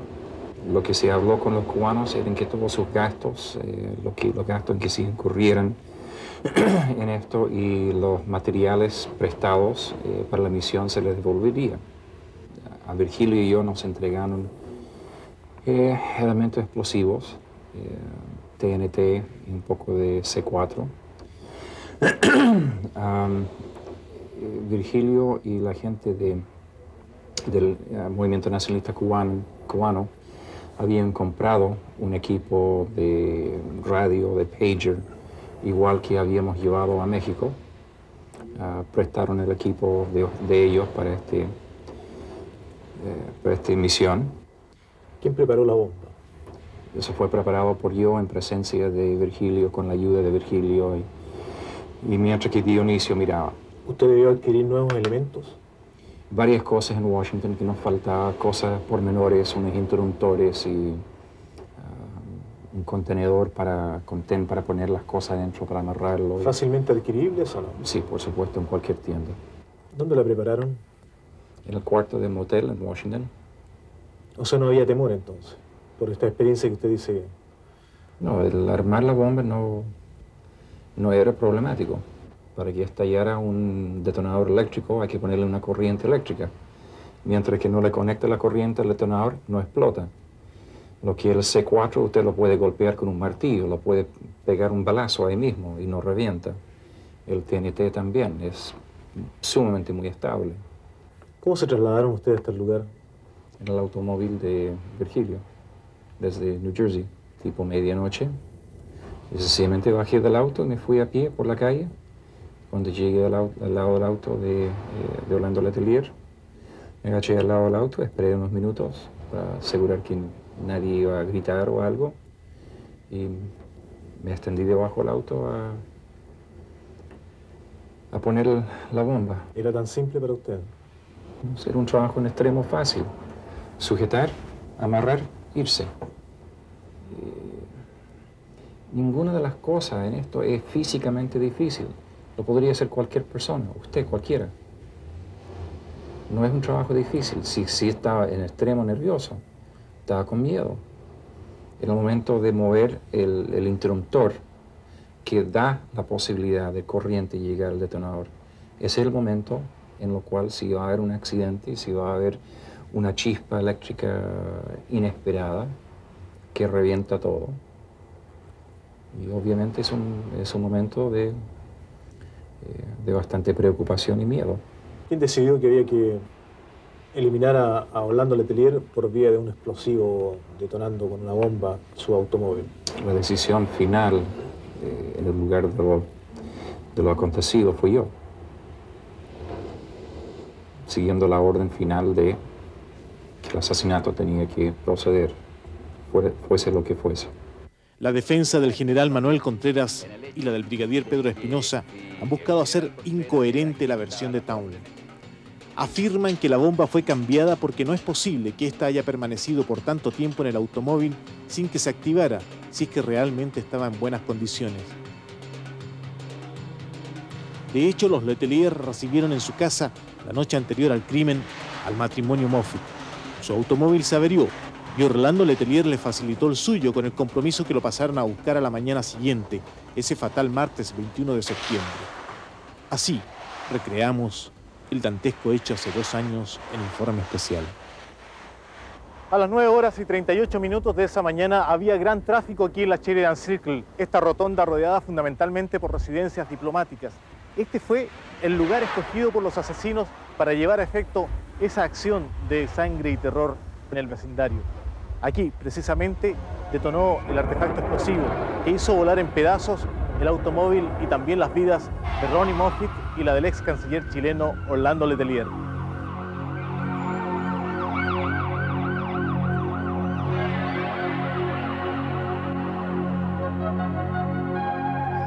Supo del estallido. Ese mismo mañana, después de haber conversado con Virgilio, sí. ¿Qué sintió usted en ese momento? Que la misión estaba cumplida. estuve muy afligido con la muerte de la Ronnie Moffett. en cuanto a señor Letelier, Orlando Letelier, eso lo había eh, no aceptado, pero ese era el objetivo. Era un soldado su lado de la pelea, yo era un soldado al lado de mi lado de la pelea. Y en ese sentido había aceptado que ese era de hecho lo que se buscaba. Eh, en, ese sentido el sentimiento es misión cumplida, eh, preocupado por salir del país, eh, muy afligido por la muerte de Ronnie Moffett. ¿Ha cambiado ese sentimiento hoy día? Lo que fue una misión antes, para usted al final fue un crimen. Se convirtió en crimen al saber que yo había sido utilizado no eh, en una misión em, dictada por el gobierno, no, no ordenada por la máxima autoridad eh, del país. Em, lo que yo pienso ahora es más bien por un, capricho de vanidad o orgullo de General Contreras. Eh, yo pienso que el Consejo Nacional de Seguridad, las personas en autoridad, eh, ordenaron, eh, dispusieron ah, el levantamiento de la nacionalidad de Orlando Letelier y que ese fue lo que ellos decidieron hacer. Y pienso que Coronel Contreras, disgustado con eso, que no se iba a hacer lo que él quería que hiciera, eh, siguió adelante con su operativo. ¿Cómo fue recibido usted? ¿A quién le reportó? Directamente a Coronel Espinosa. ¿El general Manuel Contreras alguna vez le manifestó también su congratulación? Nunca me dio una congratulación así directo, pero cada vez que yo pasaba o, le, veía, eh, el trato siempre era eh, muy cordial, eh, sonrisa. ¿Usted se sentía orgulloso entonces? La misión se cumplió. Hay un sentimiento detrás de cada acción. De acuerdo. Se cumplió una misión, por lo tanto, está orgulloso. Se cumplió la misión. ¿Por qué voy a ser orgulloso de la muerte de Ronnie Moffat? ¿Por qué me la ponen esa palabra? porque hay dos personas. Y usted... Perdón, pero ¿por qué me la ponen esa palabra? La misión se cumplió. No tengo que estar orgulloso de ello. Usted me plantea que no está orgulloso de la muerte de una sola persona. Sí, tengo.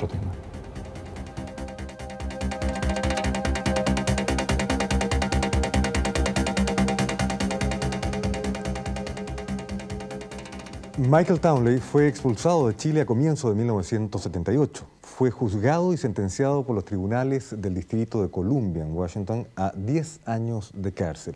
Marcelo, ¿se cumplió esta pena? No totalmente, Juan Guillermo. Se le conmutó por buena conducta y también por colaboración con la justicia. Y él entonces se acogió al sistema de protección de testigos. Antes de cumplir los cinco años de prisión, él quedó libre en 1983. Y la red de marshals y alguaciles le proveyó de, a él de un estado diferente, de un lugar donde residir, de un nuevo trabajo y por supuesto la certeza absoluta de que jamás se rompería su anonimato. Muy bien, luego de una pausa volveremos con la última parte de esta entrevista exclusiva a Michael Townley en esta edición extraordinaria de Informe Especial.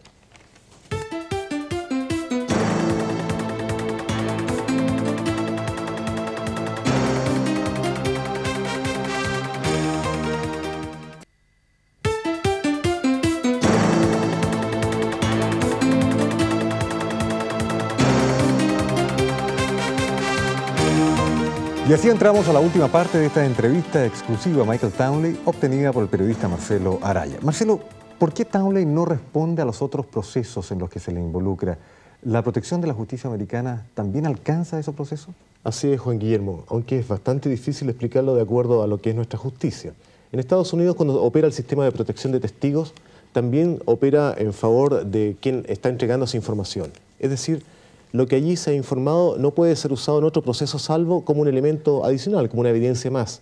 Pero el testimonio directo de la persona que ha entregado esto no es necesario trasladarlo hasta allá. Es decir, vamos a poner el caso de, eh, o el ejemplo del caso de Bernardo Leighton en Italia. Allí terminó culpable eh, Michael Townley. No obstante, Estados Unidos jamás va a permitir la extradición de este personaje hasta ese país. Por eso es que para el resto de las situaciones que se están planteando, Michael Townley simplemente ha entregado información pero no va a ser testigo directo de estos hechos. Y a pesar de que su testimonio se ha tornado tan solicitado para otros casos que se ventilan tanto en la justicia chilena como en la de otros países en los que, según Taulney, cumplió misiones para la DINA. Su participación en otros hechos y su expulsión de Chile en la próxima parte de esta entrevista exclusiva a Michael Townley. Transcurrieron dos años antes que volvieran a conocerse nuevas noticias sobre las investigaciones que efectuaba el FBI por el doble homicidio ocurrido en la capital norteamericana. Mientras, la vida de los agentes de la DINA continuaba inmutable, salpicada de atrocidades, incluyendo la del propio jefe de la brigada Quetropillán. Entre otras acciones, a su brigada le correspondió investigar la quiebra del Banco Osorno y la Unión, de la cual eran propietarios Francisco Fluxá y Vittorio Giaconi durante 1977. La preocupación era que fondos estaban pasando a grupos eh, terroristas de izquierda. Para conseguir la entrega de Giaconi, Townley recurrió al chantaje, deteniendo a una amiga personal de este. En el momento que ello ocurría, un sacerdote, el padre Mario Sañartu, abandonaba el departamento de la mujer, viéndose gratuitamente implicado, aunque en la versión de Townley la situación era diferente. El, cura Sañartu no, no participó en ningún acto. De haber fotografiado al cura Sañarto eh, al lado de dos mujeres semidesnudas, sí, efectivamente. Pero en truco, Dice que esto habría sido realizado en, su casa, en Locurro. Efectivamente. Cuando eh, esa noche se, se arrestó a la, eh, a la amiga de, eh, de Iaconi, con su amiga que vivía, que compartía el departamento, el cura Sañarto estaba ahí para ejercer la presión de que no comentara de esa noche. Efectivamente se sacó una foto ah, con dos eh, mujeres que trabajaban en DINA, uh, los cuales estaban semidesnudas y se sentaron al lado de él, pero no hubo ninguna actuación eh, impropio fuera de la fotografía dentro del recinto donde lo teníamos eh, detenido. La captura de Yaconi y las posteriores diligencias realizadas por la Brigada Mulchen de la DINA fueron demostrando el nivel de personajes que operaban en ella, aún siendo oficiales del ejército, nos hace presente el agente norteamericano. A la llegada a Santiago, eh, el señor Giaconi eh, fue llevado al cuartel general, eh, tuvo una entrevista con el coronel Espinosa y se suponía que dentro del maletín, del portadocumentos que traía el señor Giaconi, había varios miles de dólares, eh, se hablaba de una suma como 40 mil dólares, ah, que quedó ahí con el coronel Espinosa. Y al final al cabo, em, en las actividades, las acusaciones que hubo, em, según entiendo, la acusación fue, fue limitado al señor Giaconi y dejó afuera a algunas otras personas que él quería proteger. Llega definitivamente 1978 y las réplicas de ese terremoto que representó el asesinato en Washington dos años antes comienzan a sentirse en Chile, un país que parece acostumbrado a los movimientos de suelo y ahora a los de los cuarteles. Fueron publicadas en la prensa escrita las fotografías de los supuestos agentes vinculados al crimen. Eran las fotos proporcionadas por Townley y Fernández Larios a la Embajada de los Estados Unidos en los pasaportes paraguayos cuando intentaron obtener las visas correspondientes. Usted ha señalado que para ver qué es lo que se hacía frente a este problema, eh, se reunió con el general Contreras en el Nicos Pizza, un local, un restaurante santiaguino muy público. Sin embargo, el general Contreras dice que sería una locura que un oficial de, de su orden pudiera, teniendo cuarteles donde poder reunirse, teniendo lugares más secretos, llegar a hacerlo público. ¿Cómo se explica eso? Y en ese momento em, existía una, una, gran preocupación mía eh, de que si llegaría a salir vivo de todo este problema. Eh, obviamente que si hubiera muerto Michael Townley, Armando Fernández, un accidente, asesinato, desaparecidos, cualquier cosa, la investigación no habría ido más allá y el general Contreras habría estado libre de todo, coronel Espinosa, libre de todo. Nunca habría habido eh, solución. No voy a decir en ese momento que yo estaba buscando, no, quiero intentar hacerles creer que estaba buscando que saliera la verdad, que se confesaran a los crímenes, pero no habría habido de ninguna manera solución si hubiera muerto yo y Armando Fernández. Por lo tanto, habría sido eh, bastante eh, eh, estúpido de mi parte reunirme en un lugar privado bajo el control de General Contreras y su gente. me había llamado comandante Vienel Valdivieso varios días en la noche antes, eh, exigiéndome, ordenándome a presentarme eh, en la esquina de Bilbao con Pedro Olivia eh, para que él me llevara donde el general Contreras, a lo cual rehusé. Primera vez que había rechazado una orden emanada de mi general Contreras.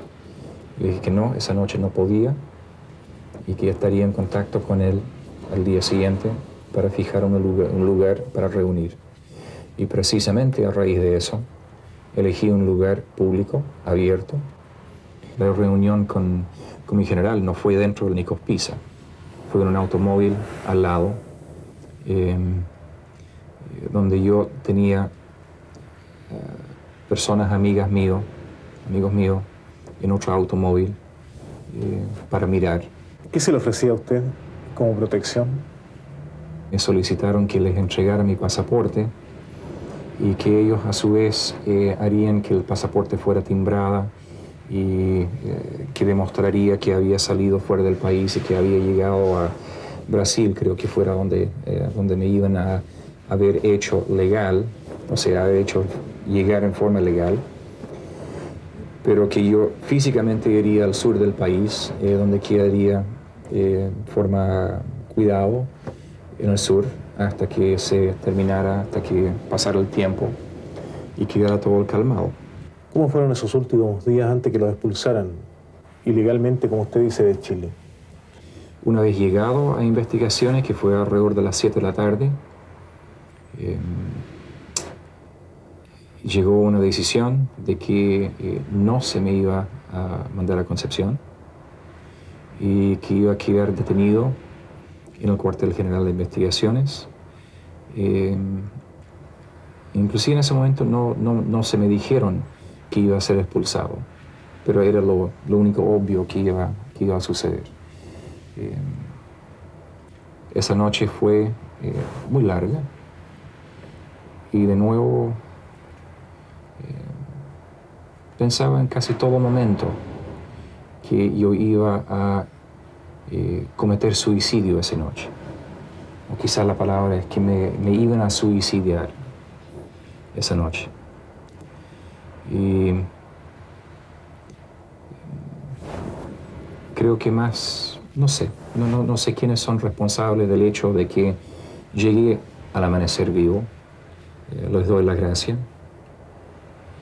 Em, pero en la mañana temprano, una de las cosas que ha quedado, que ha quedado conmigo grabado, ah, que lo llevaré hasta mi último día, en la mañana me llevaron a la oficina de un, no sé si fue comisario o subcomisario, creo en la brigada de homicidios, justo antes, media hora antes de llevarme al aeropuerto. Y me recriminó fuertemente. Y me dijo, no, no hay excusa de orden superior. Me echó en cara los juicios de Nuremberg, de los crímenes de, los alemanes de la Segunda Guerra Mundial. Me dijo, para eso fueron los crímenes, de, los, juicios de Nuremberg. Y... ¿Le dolió a usted eso? Me duele hasta ahora. ¿Traicionado se siente usted?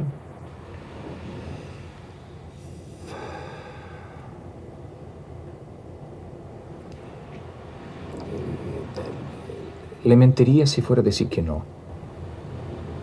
Por sus características, el crimen de Rolando Letelier se ha transformado en todo un símbolo de lucha por la justicia, en especial para quienes la existencia de la DINA no ha representado sino odio, dolor, sangre, violencia, bestialidad humana. ¿Qué se puede exigir entonces para quienes fueron los autores del exterminio del ex comandante en jefe del ejército chileno, el general Carlos Prats y su esposa? Crimen contra el militar es uno de los primeros atribuidos a la DINA. La conspiración se concretó en Buenos Aires el 30 de septiembre de 1974. El matrimonio Prats regresaba a su departamento, cumpliendo su rutina habitual. Sería la última vez. La convicción es total. En el doble asesinato de Buenos Aires se perciben huellas de la DINA, el estilo de Townley, pero este no acepta esa responsabilidad. ¿Quién es Iván dentro de la DINA?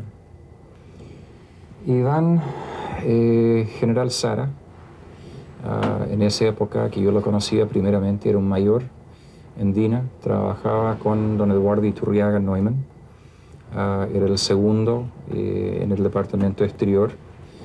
Ah, según lo que he llegado a saber, eh, estuvo en España, estuvo en Italia, ah, estuvo en varias partes donde posteriormente, a donde posteriormente llegué yo en Europa. O sea, cumplía misiones externas permanentemente. Eh, hasta que fue destinado a otra repartición. Estamos hablando de José Sara, quien fue también director de la escuela de paracaidismo. Exacto. Él encabezó uno de los grupos que asistió a Buenos Aires para intentar asesinar a don Carlos Prats. Ah, él estuvo allá en Argentina y estuvo en contacto ah, con un grupo de, chilenos residentes en Argentina, ah, igual que Eduardo Iturriaga. ¿Cuál fue la motivación fundamental que determinó la eliminación de Carlos Prats? Eh, que con la muerte de General Prats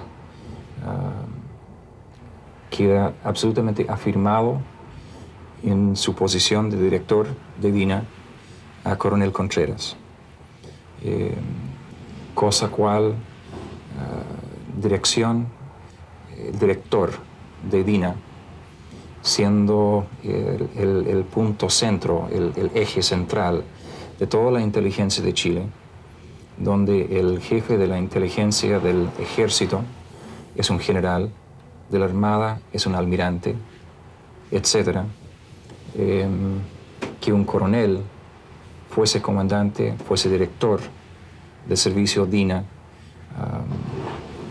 se comentaba de que muchos, muchos generales estaban muy molestos con ese hecho. ¿Sabía usted que había intención por parte de la DINA de eliminar a quien fuera el comandante en jefe del ejército chileno? Habían varios grupos encomendados eh, por coronel, coronel Contreras para asesinar a, a General Prats. ¿Se pagaba a esos grupos? Escuché que a un grupo se había pagado 20 mil dólares y no habían cumplido. Era el 30 de septiembre de 1974. Usted ya realizaba trabajos para la DINA entonces. Hacía trabajo de apoyo técnico en electrónica. Como le dije, conocía a don Pedro Espinosa mucho antes. ¿Qué misión estaba cumpliendo usted en esa oportunidad? Estaba comprando elementos electrónicos en Buenos Aires. Había estado dos veces en mes en Buenos Aires. El asesinato de Carlos Prats y de la señora Sofía Cuthbert se le atribuye también a usted. Sí. Usted estaba ese día en que ocurrió el asesinato, se encontraba en Buenos Aires, estaba abandonando el país en ese minuto. Sí. La gente debe ir a asociar entonces que usted es parte de lo que ocurrió allí. Sí.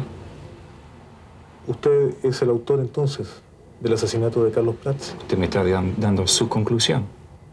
El agente del FBI, Carter Koenig, al realizar la operación para comparar las bombas que fueron puestas en, el automóvil de Orlando Letelier, ha señalado que la mano es la misma que de la que asesinó a Carlos Prats.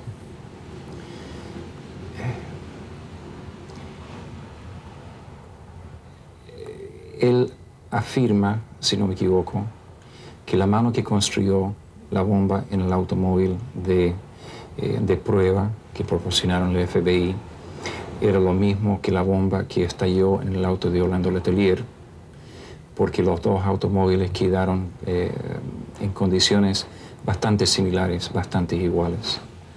Em, si el hecho de que una bomba reventó en los automóviles en Estados Unidos y una bomba reventó en el auto de General Prats es similar, sí es similar, pero no veo por qué es de la misma mano. Él señala que es un mismo estilo, es la misma forma, las características son muy semejantes en términos de instalación y en términos de efectos. Esa opinión del señor Karnick. ¿Usted en ese momento que estaba en Buenos Aires no le constaba eh, que había alguien de DINA? Eh, yo me encontré en Buenos Aires con uh, Eduardo Iturriaga. ¿Le indicó qué misión estaba cumpliendo él? No. ¿Usted está dispuesto a enfrentar ese proceso que se ha abierto en Argentina? Es una pregunta que no, no tengo respuesta. No le, no le doy. Debe entender que no está dispuesto. No.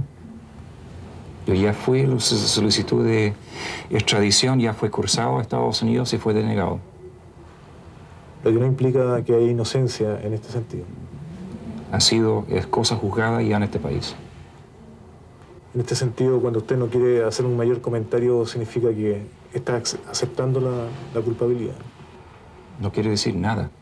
Las conclusiones son suyas. Es que una persona inocente siempre va a estar dispuesta Las a ser conclusiones son procesada. suyas. Usted me dice que la justicia en este mundo, en todas las vidas, siempre ha sido justa, absoluta y certera, sin equivocación. Pero no, el principio elemental de la No. justicia dice que una persona La- la inocente está dispuesta a ser la- procesada. la justicia, la justicia falla con bastante frecuencia.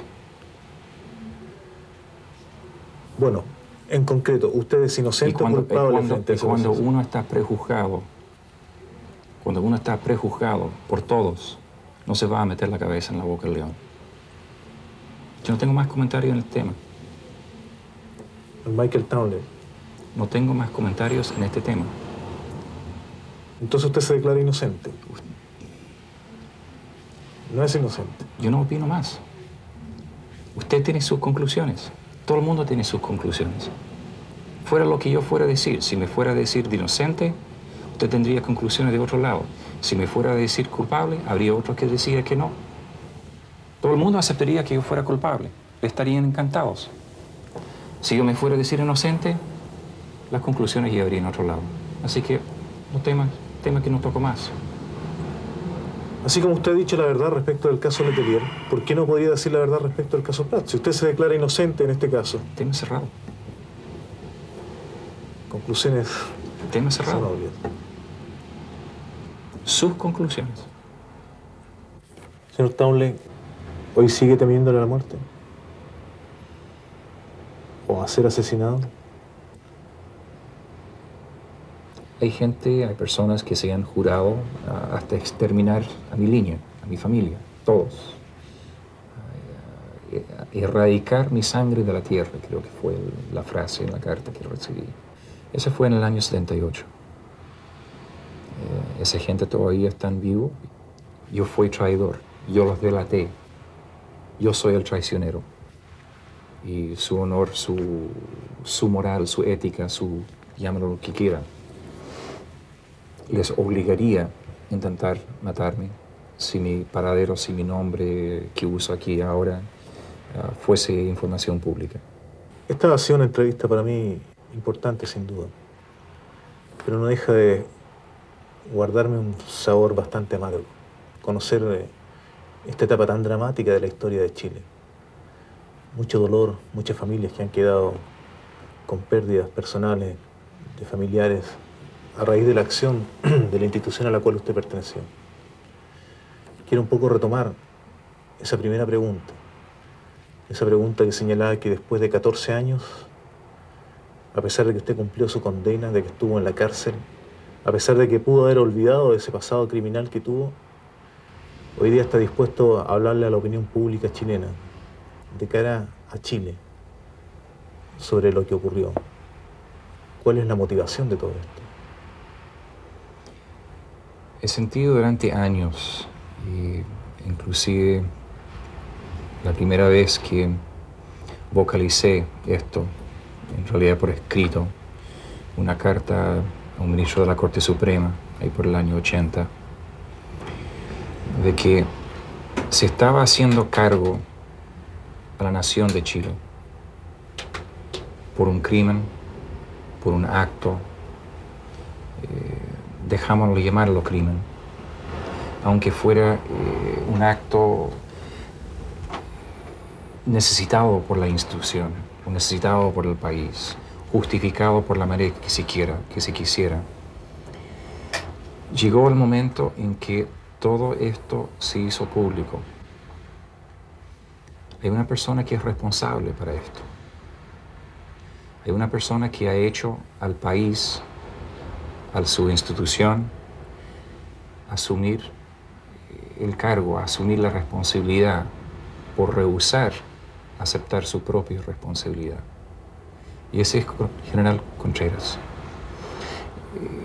Eh, he leído mm, la historia de Chile, no soy muy leído, no soy en extremo eh, conocido, pero lo que sí he leído, yo no he podido encontrar una persona en la historia de Chile que ha sido más nefasto para el país que General Contreras. En el año 78, cuando salió a la luz, eh, a raíz de la investigación que se hizo aquí en Estados Unidos, eh,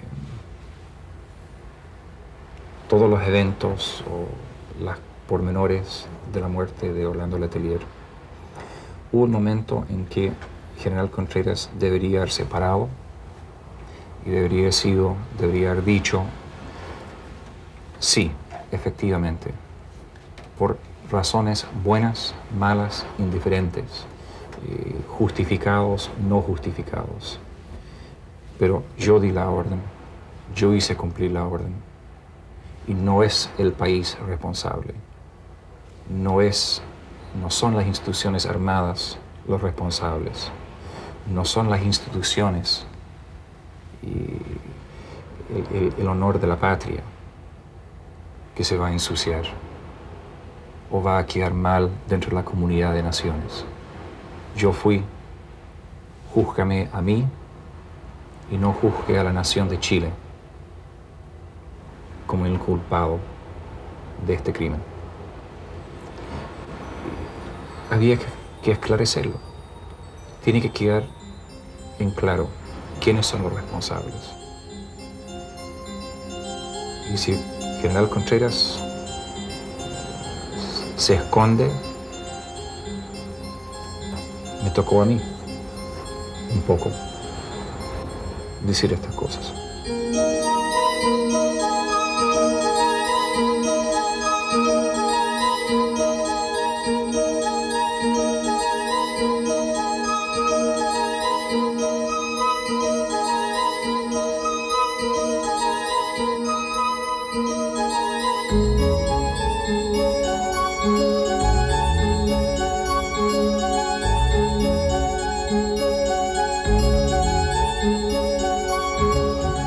Así culmina la entrega de este testimonio periodístico exclusivo con la entrevista a Michael Townley obtenida por el periodista Marcelo Araya en los Estados Unidos. Marcelo, al final de la entrevista, ambos, entrevistador y entrevistado, se veían bastante agotados. ¿Cuánto duró todo esto? Así es, era las 2 de la mañana. Este trabajo se planificó para realizarlo en tres días. Sin embargo, diferentes situaciones nos llevaron a desarrollarlo solamente en 18 horas. Por lo tanto, fue bastante tedioso, fue bastante cansador. Pero eso en el plano físico. La verdad es que yo estaba agotado también por la temática. Tantos hechos horrorosos relatados con tanta naturalidad. La verdad es que me impactaron. Pero yo estoy seguro también que hemos cumplido con esa obligación que tiene el periodista. Informar, informar bien, verazmente. Creo que estamos cerrando un ciclo de varios testimonios. Y este que nos estuvo vedado por aproximadamente 15 años porque no conocíamos esa versión directa de Michael Townley, hoy día es posible para todos los chilenos contar con un elemento diferente, un elemento más como para también conocer de mejor manera ese episodio o esa etapa de la historia de Chile.